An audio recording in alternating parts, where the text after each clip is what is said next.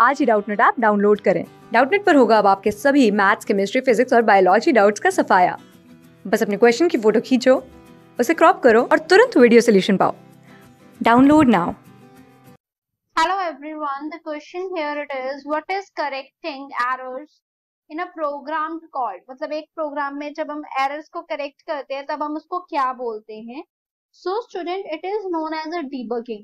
ये प्रोसेस को बोला जाता है debugging.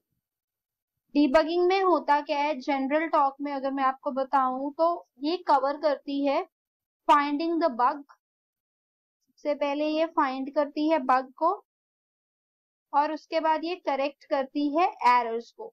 सबसे पहले बग को फाइंड आउट करती है देन ये एरर्स को करेक्ट करती है। इवन जो है ये, जो डिगबगिंग का टूल है, ये प्रॉपरली यूज़ किया जाता है प्रोसेस किया जाता है in many of the programs The option here it would be interpreting.